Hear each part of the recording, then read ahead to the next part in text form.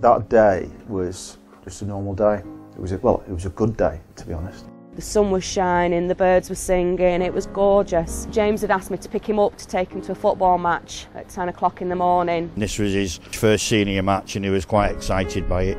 As you do, he left the car, I gave him a kiss, told him I loved him. Expecting to see him again later on that evening when he was hungry. We came home um, and then I remember him saying, right dad, I'm, I'm going out.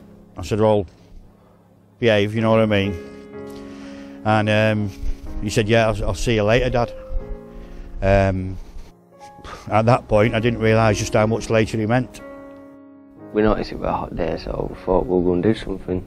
So we all decided to go to the res, chill out, have some fun. We decided to walk around where the jetties were and sit on them. We let ourselves off and then it just floated to the middle. Everyone were like, right, what we're going to do. Raft weren't moving, was paddling it. In the end, I, decided that we had to swim. Keaton lowered himself into water and set up swimming. But James, being who he were, dived in and then that's when it happened. As soon as you'd jumped in, you took your breath away, and it's like it. At that point, that's when I thought I shouldn't really do it, but just thought it's not that far, so just started swimming.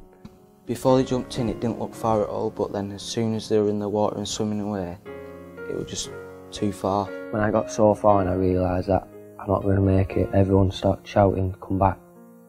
So I turned around tried to start going back.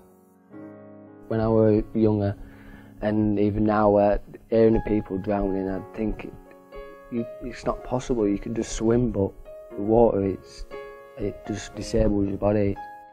When you stopped moving your arms, I just went under. So that's when, and then the more you used, tried to keep yourself up, the more energy you lost. At, at that point, he was still swimming. He was he was still going strong. When we walked to take the dogs, I remember hearing sirens just never ending. We didn't notice anything untoward, we just saw a, a boats on the lake. We then heard a, a, helicopter. When you see the air ambulance going somewhere, um, I think you know, you, you know it's something serious for that to come out as you do, we were staring, watching the commotion, watching what was going on, but we were a long distance away. Um, my partner turned around and said, I think someone might have drowned. As we were moving away, we saw two of James's friends who were coming running down the path and they were asking where another boy was. And I said, Oh, I don't know, but have you seen James? And they said, Well, yeah, he's with Keaton. I said, Well, where? And they said, On the res. When I turned round, you couldn't see where anybody, anybody were, your vision started going. You couldn't hear anything just apart from the water splashing. I just led there, just looking up, trying to get out, and I just felt the raft touch me. So I just grabbed the raft and everyone dragged me on. He, he had no colour in him, his lips were blue. Like, he was like lifeless, like he didn't have no energy to even talk to us. Next thing we know, we're like looking for James, and then we see him, and he's shouting for help. My first priority was to gain some information from the people who were there. Uh, two, the people I first spoke to gave me a rough uh, idea of, of James's last known location.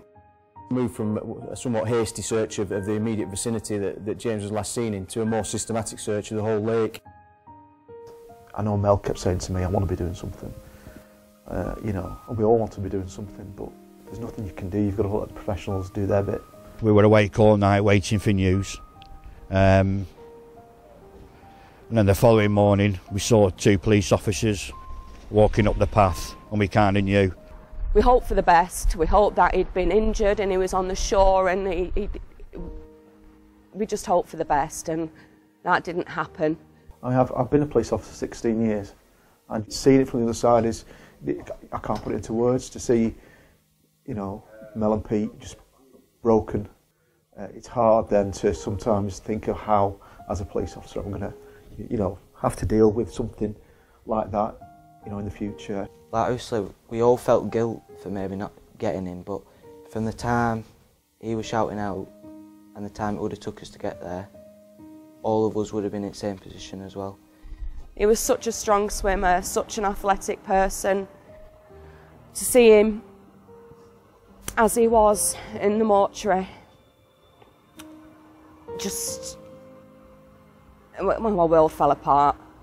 I've never understood like the dangers of water, and but now it's unbelievable what it can do. Uh, because it looks so harmless, but it's very deadly.